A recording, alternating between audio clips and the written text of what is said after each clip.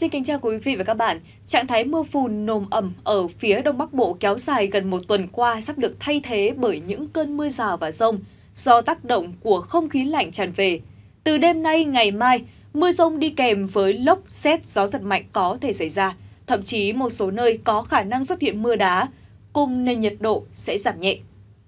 Sau đó từ ngày 16 tháng 4, tức là chủ nhật tuần này, do không khí lạnh suy yếu nhanh, vùng áp thấp phía Tây phát triển và mở rộng dần về phía Đông Nam, nên mưa trên toàn Bắc Bộ giảm nhanh cùng nhiệt độ tăng lên mỗi ngày. Khu vực các tỉnh như Lai Châu, Điện Biên và phía Bắc của Sơn La có khả năng xuất hiện nắng nóng cục bộ, với nhiệt độ cao nhất là trên 35 độ. Ở miền Trung, không khí lạnh tràn về trong ngày mai cũng khiến cho khu vực các tỉnh thành từ Thanh Hóa xuống tới Thừa Thiên Huế xuất hiện mưa rào cùng với rông rải rác. Cục bộ có mưa vừa mưa to và trong cơn rông tiềm ẩn nguy cơ xảy ra lốc xét, mưa đá, gió giật mạnh. Sau đó, cũng từ ngày 16 tháng 4, mưa trên khu vực giảm nhanh chỉ còn xuất hiện ở một vài nơi và nhiệt độ tăng dần, nắng nóng cục bộ sẽ xuất hiện trở lại.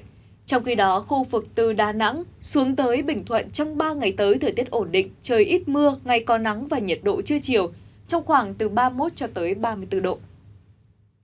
Ở phía Nam, khu vực Tây Nguyên và Nam Bộ trong 3 ngày tới do chịu ảnh hưởng của rãnh áp thấp xích đạo nên có mưa rào và rông rải rác. Riêng Nam Bộ, cục bộ có mưa vừa mưa to.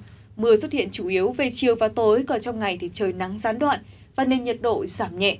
Khu vực các tỉnh vùng cao Tây Nguyên phổ biến trong khoảng từ 30 cho tới 33 độ, còn tại Nam Bộ dao động trong khoảng là từ 31 cho tới 34 độ.